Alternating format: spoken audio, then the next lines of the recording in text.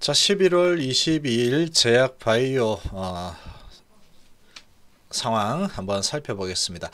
자, 코스닥 시장 외국인 기관이 쌍끌이 매수했던 어제 어제였죠. 하루 만에 어, 쌍끌이 매도 큰 폭의 매도가 나왔습니다. 이렇게 돌아서면서 반도체 장비 주들도 오늘 약세를 보였고 제약 바이오 주들도 어, 약세로 마감했습니다. SK케미칼이 어, 치매 패치 치료제가 FDA 승인을 받아내면서 상한가로 마감했습니다. SK그룹에서 벌써 FDA 승인이 두 개나 나왔죠.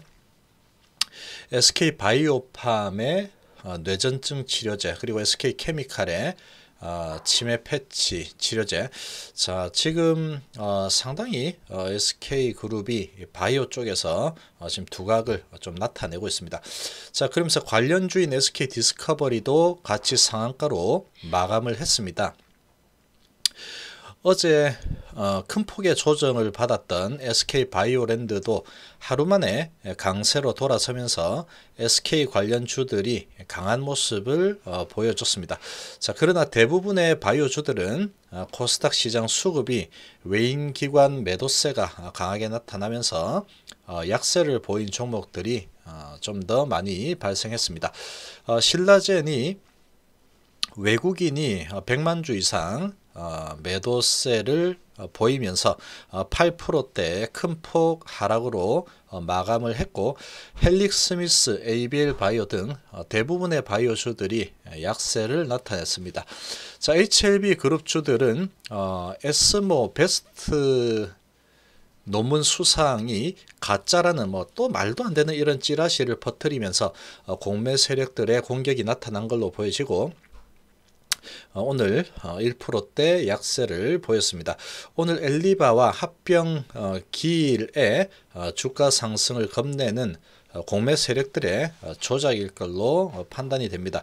금일 KBS 기자가 성공률 0.1% 바이오에 묻지마 투자하시겠습니까? 라는 어, 이런 제목으로 메지온과 HLB가 어, 마치 성공을 못할 것처럼 어, 기사를 쓰고 바이오 전체를 싸잡아 매도하는 의도적인 기사를 어, 낸 부분도 바이오주의 약세를 어, 노리는 이런 세력들의 아, 이런 농간이 아닌가 아, 이런 생각이 좀 듭니다.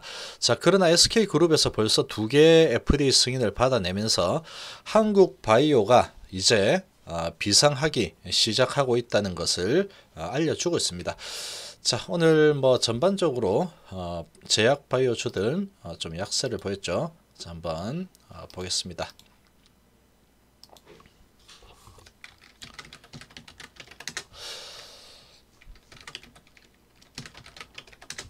자, HLB 오늘 1.8% 어, 정도 어, 하락했습니다.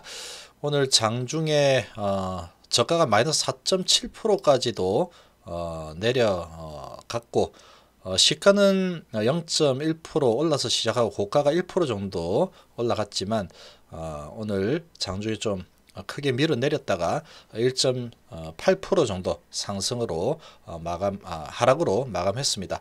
자 오늘 어, 상당히 합병 길로 어, 상당히 갈만한 어, 그런 어, 자리였지만 이런 뭐 찌라시를 띄우면서 의도적인 누르기가 좀 진행이 됐다 이렇게 생각이 되고 자 이런 의도적인 누르기는 결국은 시간이 다 해결을 해준다 이렇게 예, 좀볼 수 있겠습니다. 아, 금방 회복이 되지 않을까 이렇게 좀 보이지고 계속 뭐 눌러도 결국은 공매 수량은 점점 늘어나기 때문에 어, 시간이 지나서 주가가 올라가게 되면 어, 공매들의 손실은 어, 더욱 커질 가능성이 매우, 어, 높다 이렇게 어, 생각이 됩니다. 자, 생명과학도 어, 오늘 어, 마찬가지로 어, 비슷한 흐름이었습니다. 오늘 고가 한 2%까지도 갔지만 저가 마이너스 4.69까지 갔다가 1.3% 정도 하락하면서 마감했습니다. 자, 5일선하고 11선 부근에서 지금 조금 조정을 보였죠. 자, 지금 상당히 오랫동안 지금 조정을 진행하고 있습니다. 자, 상당히 오랫동안 조정을 기간 조정, 가격 조정이 많이 됐죠. 어, 많이 됐고 뭐 추가적으로 좀 조정이 뭐 나온다고 해도 결국은 어, 가치는 어, 계속해서 시간이 갈수록 어, 계속 어, 좋아지는 방향으로 어, 움직이고 있습니다. 오늘 엘리바하고 또 등기상으로도 어, 이제 합병이 완료가 됐죠. 자 그런 부분을 보면은 어, 방향은 어, 가치는 계속 올라가고 있고 주가는 아직 움직이지 못하고 있는 그런 상황이 아닌가 이렇게 좀 보여집니다. 자, 넥스트 사이언스가 어, 4.3% 하락했습니다. 어, 21선을 어, 이제 또 만나러 가는 어, 그런 모습을 보여주고 있죠. 어, 21선 이제 거의 어, 다 와 가는 어, 그런 지점입니다. 21선 정도 어느 정도 어, 만나게 되면 어, 좀 지지를 받지 않을까 아, 이렇게 어, 좀 보여집니다.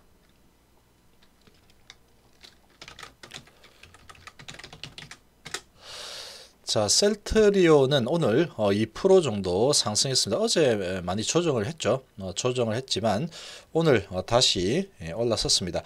외국인이 이제 계속 매도를 하다가 이제 매수로 돌아섰죠. 기관이 계속 사고 있죠. 기관에서는 계속 지금 매집을 하고 있습니다.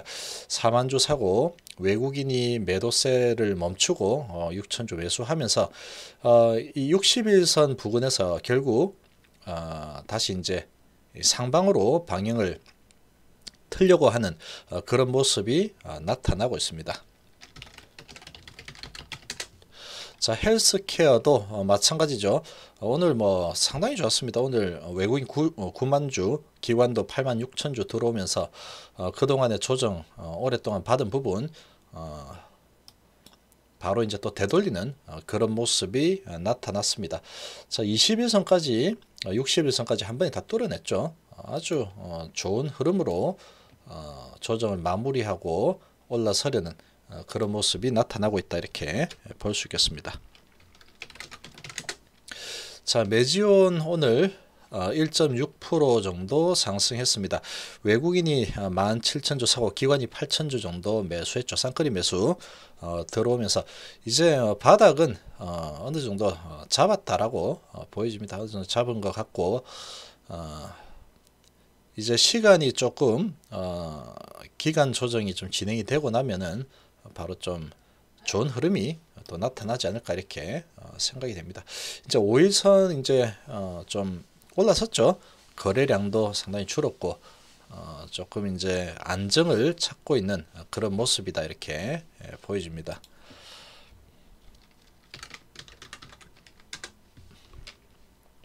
자 헬릭스 미스는 어, 외국인이 계속 사고 있죠. 오늘도 8,800 사고 기관이 1,400 팔았지만 어, 결국 1.7% 정도 오늘 제약 바이오주들 어, 분위기가 어, 그렇게 좀 좋지 못했죠. 아, 그러면서 1.7% 정도 하락했습니다. 계속 지금 5일선, 11선, 33일선 모아가지고 쭉 흐르고 있죠. 계속 옆으로 어, 에너지를 모으고 있는 그런 어, 행태다라고 어, 보여집니다. 자, 신라젠이 오늘 상당히 많이 빠졌습니다. 신라젠이 외국인이 180만 주나 던졌죠. 아, 그리고 기관이 3만 3천 주 매수가 들어왔지만 외국인의 매도세가 워낙에 거셌습니다. 지금 이제 60일선까지 만나러 가고 있죠. 자, 지금 자, 신라젠 한번 보시면 자, 오늘 뭐 별다른 어, 신라젠에 대한 어, 이런 소식은 없었습니다. 어, 별다른 소식은 없었지만 어, 그냥 외국인들이 오늘 뭐 상당히 많이 이렇게 던져 버렸죠.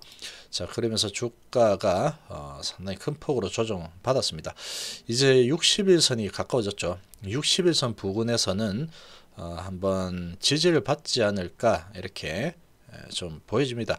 외국인의 매도세가 어, 좀 그래도 마무리가 돼야 되겠죠. 마무리가 되는 모습이 보이면 여기에서 이제 지지를 좀 받지 않을까 이렇게 어, 생각이 됩니다.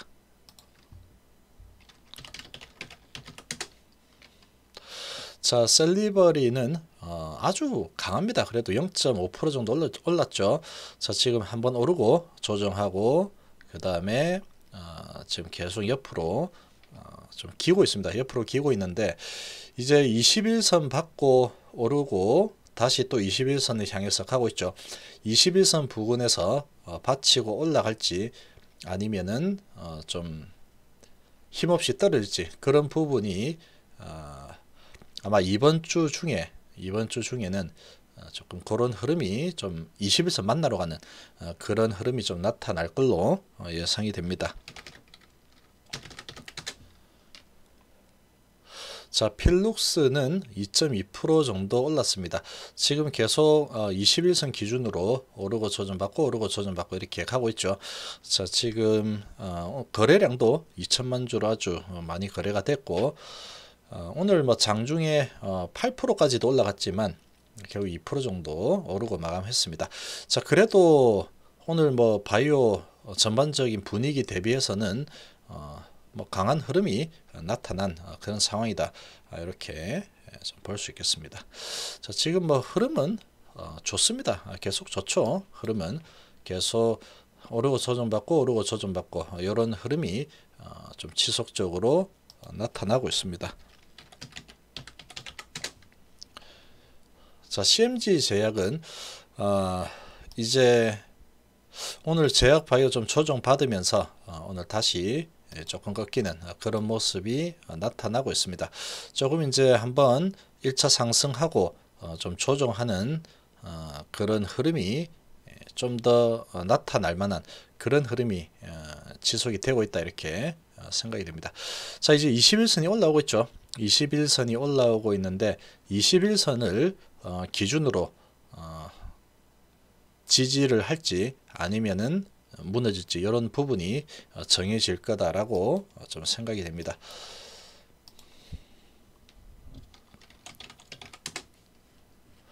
자, SK 바이오랜드는 이틀 상치고 어제 어, 13%큰 폭으로 하락했지만 오늘 다시 SK 주들이 또 주목을 받으면서 5일선 딱 터치하고 다시 또 양봉 나왔죠. 오늘 고가 24%까지 갔다가 8.7%로 어, 어, 마감했습니다. 자, 지금 뭐 흐름이 아주 좋습니다. 거래량도 많이 터지고 지금 추세 자체는 아직까지는 뭐 괜찮은 그런 흐름이다 이렇게 예, 보여집니다. 자 하나제약은 오늘 뭐 0.5% 어, 정도 어, 하락하면서 어, 뭐 보합권 수준으로 진행이 됐습니다.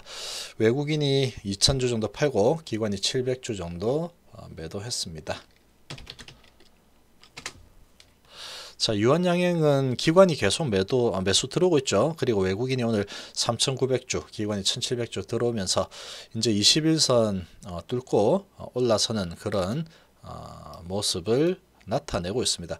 유한양행은 이제 연말에 어, 배당이 또 있죠. 주식 배당 4.5%에 어, 현금 배당 0.9%까지 있기 때문에 어, 연말에는 상당히 강한 흐름이 나타날 가능성이 좀 있다라고 생각이 됩니다. 자 오늘 제약 바이오주들 뭐 그렇게 좋은 흐름은 아니었습니다. 그러나 어, 오늘 SK 쪽에서 또 좋은 어, 그런 소식이 나왔죠. 우리나라 제약 바이오가 이제 어, 비상하는 어, 그런 어, 태동기를 맡고 있다 이렇게 생각이 됩니다. 자 오늘 하루도 어, 수고 많으셨고 내일도 성공 투자하시기를 바라겠습니다. 감사합니다.